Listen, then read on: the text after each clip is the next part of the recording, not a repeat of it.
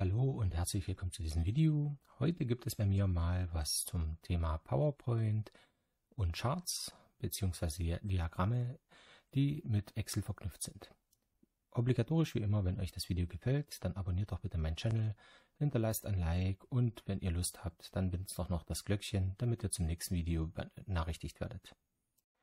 Thema hier wird jetzt nicht nur die Verknüpfung von äh, Diagrammen in PowerPoint mit Excel sein, sondern natürlich auch die ganzen Dinge, die man beachten muss, beziehungsweise wo es eventuell Probleme gibt, äh, zum Beispiel mit der automatischen Aktualisierung oder halt mit den Verknüpfungen selbst. Da wir ja Daten aus Excel heranziehen wollen, die wir dann in einem Chart, welches sich automatisch in PowerPoint aktualisiert, verknüpfen möchten, starten wir hier erstmal mit äh, Excel So, und erzeugen hier uns ein, ein leeres Dokument. Und dann machen wir das jetzt mal ganz einfach. Wir nehmen hier einfach mal zwei Spalten und in die erste Spalte kommt vielleicht mal der Monat rein und in den zweiten machen wir zum Beispiel mal Umsatz. So, dann erstellen wir hier mal, formatieren wir das hier mal ganz kurz, formatieren und machen das Benutzer definiert mit Datum. Und zwar wollen wir nur den Monat und das Jahr haben. Und dann geben wir mal hier ein 0106 2020 0107 2020 und dann ziehen wir uns das mal ein bisschen in den aktuellen Monat beziehungsweise den brauchen wir noch nicht, da sind wir noch nicht. Und geben hier mal ein paar fiktive Werte ein.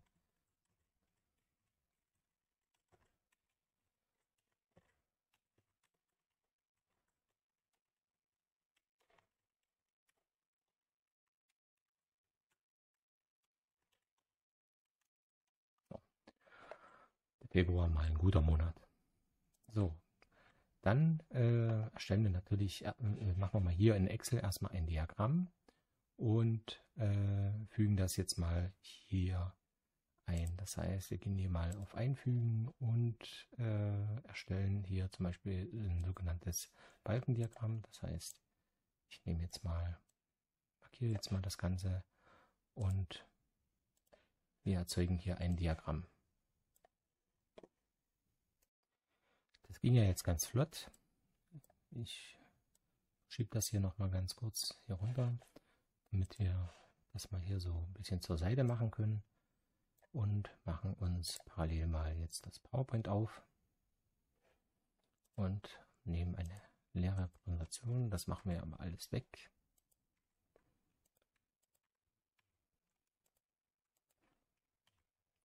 So, Jetzt könnten wir in Outlook hier natürlich auch ein Diagramm einfach einfügen.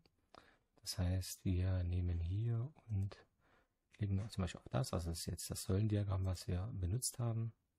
Und jetzt sehen wir, dass er hier ein Diagramm eingefügt hat und wir unten hier schon eine Excel-Datenreihe haben. So, jetzt könnte man sich hier natürlich auch noch abmühen und schauen, dass man die Daten jetzt neu verknüpfen kann mit dem.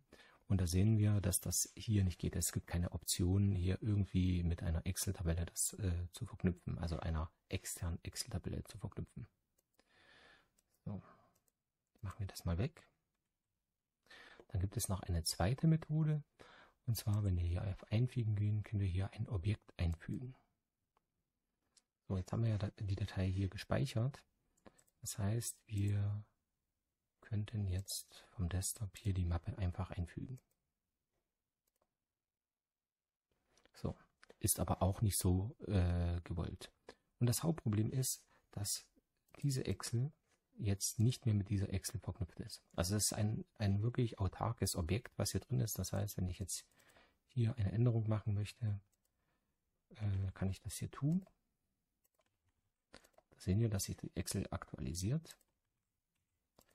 Ähm, aber das ist ja nicht gewollt. Also wir wollen ja hier diese Excel aktualisieren. Das heißt, ich kann ja hier nochmal auf Speichern gehen, damit man das, den Beweis hat. Das heißt, wir machen das jetzt äh, mal speichern mal die PowerPoint und öffnen die PowerPoint nochmal neu. Hätte ja sein können, dass er das jetzt aktualisiert und wir sehen, äh, das ist nicht identisch. So. Wie macht man das denn nun? Das ist eigentlich ganz einfach. Wir gehen einfach mal in die geöffnete Excel und kopieren hier. Also aufpassen, dass wir jetzt nicht so ein einzelnes Objekt ausgewählt haben, sondern hier direkt das ganze Objekt und kopieren das hier einfach. Und dann gehen wir rüber in unsere Power, PowerPoint und äh, fügen das einfach ein. So, hier müssen wir natürlich jetzt auch wieder aufpassen. Das heißt, es gibt ja so verschiedene Optionen. Ähm, äh, hier ganz hinten die. Dann ist im Prinzip die der Chart oder das Diagramm einfach nur als Bild eingefügt. Das heißt, hier gibt es auch gar keine Möglichkeit, das äh, irgendwie nachträglich noch zu bearbeiten. Wollen wir sowieso nicht. So, machen wir aus. Das heißt, ich kopiere das hier nochmal. Dann gibt es die zweite Option, das ist zum Beispiel ja die, das ist äh, Zieldesign verwenden und Arbeitsmappe einbetten. Machen wir jetzt mal. So, da sehen wir, er hat das auch übernommen. Problem dabei ist, ähm, dass dieses Diagramm jetzt nicht mehr mit dieser Excel-Mappe verknüpft ist. Das sehen wir einfach daran, wenn wir hier unten auf Daten gehen und Daten auswählen, dann macht er hier intern im Prinzip die Excel auf, äh, also eine, eine Excel-Spalte auf und wir können die ja jetzt hier auch, das war das natürlich Quatsch, abbrechen. So, gehen hier und nochmal.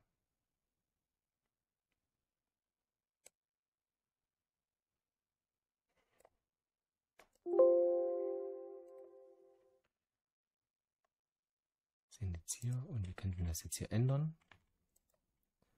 Sehen, dass sich die Diagramme hier abändern. So, wir haben auch hier keine Möglichkeit, die Excel zu speichern, sondern das ist, wie gesagt, ist das eingebettet. Wir können das dann hier oben mit der PowerPoint einfach äh, speichern. Und jetzt könnten wir das mal zumachen. Und als Beweis, wir ändern hier mal, Quatsch, die Excel und das war ein bisschen zu viel des Guten. Und ändern die mal ab, speichern die hier und öffnen hier mal unsere PowerPoint-Präsentation neu. Und wir sehen, das ist nicht identisch. So, dann machen wir das mal hier raus wieder. Wir haben die. Wir kopieren die hier nochmal neu. Kopieren. Und jetzt gehen wir mal auf äh, diese zweite Option. Das heißt, ursprüngliche Formatierung beibehalten und Arbeitsmappe einbetten.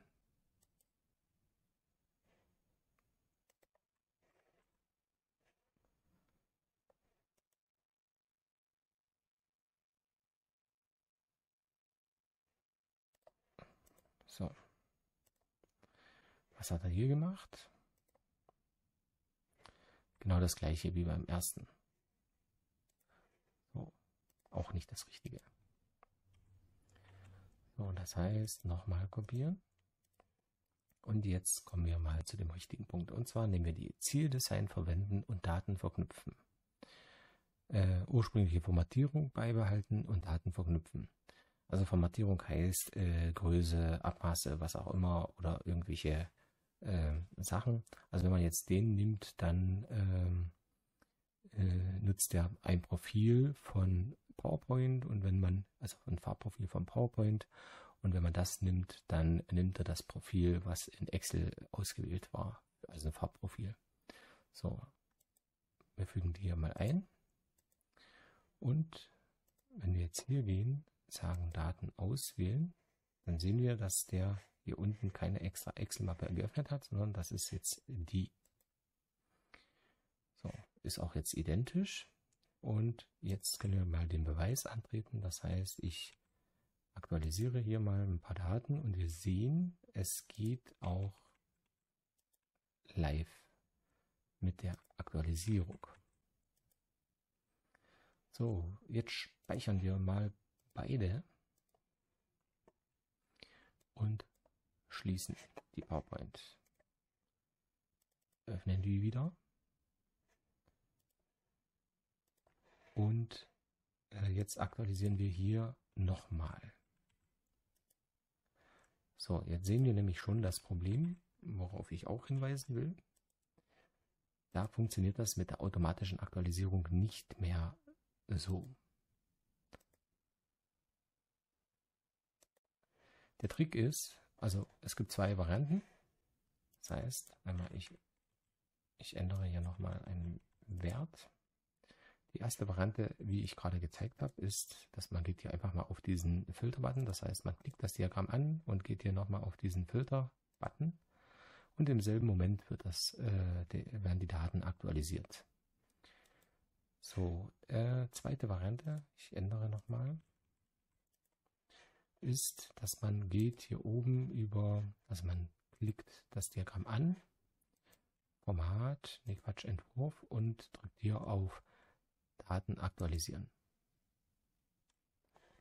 So, und hier sehen wir auch schon das ganze Problem. Es ist unbedingt ganz wichtig, wenn man die PowerPoint-Präsentation mitnimmt und die Excel-Tabellen dazu nicht mitnimmt, ist sowieso erstmal die Verknüpfung weg. Das heißt, das Diagramm würde in dem Moment nicht mehr mit den aktuellen Daten beim Öffnen aktualisiert werden. Das heißt, bevor man äh, aus dem Haus geht, sollte man grundsätzlich die schauen, dass alle Diagramme aktualisiert sind. Das heißt, man geht alle Folien durch und aktualisiert das auf die gerade gezeigten äh, Varianten. Ähm, und auch wenn man im Haus ist, also das heißt, selbst wenn man die, wenn die Verknüpfungen alle stimmen und die Verbindung zur Excel steht, sollte man auch immer darauf achten, dass man äh, erstmal alles aktualisiert, grundsätzlich. Ähm, ich will nochmal eine zweite Variante zeigen, also ein zweites Problem zeigen, äh, was ja noch schlimmer ist. Und zwar, wir entfernen das mal. Also das sind einfach nur Kleinigkeiten, die man äh, beachten sollte. Ich mache jetzt mal beide Mappen weg und wir erstellen einfach mal, äh, äh, nee Quatsch, wir machen einfach mal auf die Excel und machen die PowerPoint auf. Das heißt, jetzt machen wir wieder hier Monat und Umsatz. Ich mache das jetzt mal ganz schlicht und 106 2020 107 2020 und wir ziehen das hier mal nochmal auf und dann formatieren wir uns das nochmal korrekt. Das heißt Datum Benutzer definiert und machen mal den Tag weg. Und füllen uns das nochmal mit beiden Daten auf.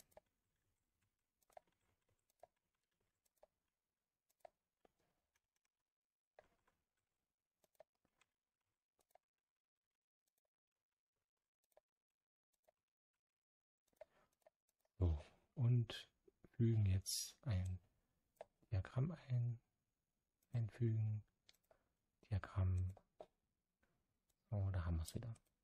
Jetzt kopieren wir das Ganze, machen wir mal diese Elemente weg und machen das hier verknüpft rein. So, jetzt können wir das mal hier testen. Funktioniert mit der Aktualisierung. So, und jetzt mache ich eins, jetzt gehe ich jetzt, äh, sozusagen jetzt tue ich hier gehen, speichern unter. Und speichere die auf den Desktop. Und dann gehe ich hier äh, auch auf Speichern unter und speichere die auch auf den Desktop. Jetzt mache ich mal das Ganze zu. Und jetzt öffne ich die PowerPoint heißt die Präsentation und ich öffne auch nochmal die Excel, die wir eben hatten. Und jetzt werden wir gleich ein kleines Problem sehen. Und zwar, ich ändere hier mal ein paar Daten. Ich kann die auch speichern hier, damit man das na, sieht. So, und jetzt will ich natürlich die hier aktualisieren. So, Jetzt sehen wir hier das Problem. Das heißt, es ist total wichtig, dass wenn man die Excel erstellt, dass die erstmal gespeichert wird. Ansonsten ist die Verknüpfung nach dem Speichern weg. Das heißt jetzt, weil er ja, während wir das verknüpft haben, äh, war sozusagen äh, die Datei ja noch nicht an dem Ort gespeichert, sondern die war bloß irgendwo in einem Temp-Ordner äh, zwischengespeichert, also was äh, Office intern ist. Das heißt, das kann man hier aber korrigieren, indem man hier die Verknüpfung bearbeitet. Das heißt, wir machen hier die Quelle, nehmen wir wieder und können jetzt aktualisieren und wir sehen, jetzt hat das funktioniert. Nervig bei dieser Sache ist natürlich, wenn man jetzt viele, viele, viele Diagramme genutzt hat und das irgendwie verpasst hat, das äh, so zu machen, wie ich das gerade eben gemacht habe, dann verknüpft man die alle neu. Genauso ist das zum Beispiel, wenn man die Datei verschiebt. Also jetzt speichere ich das nochmal hier.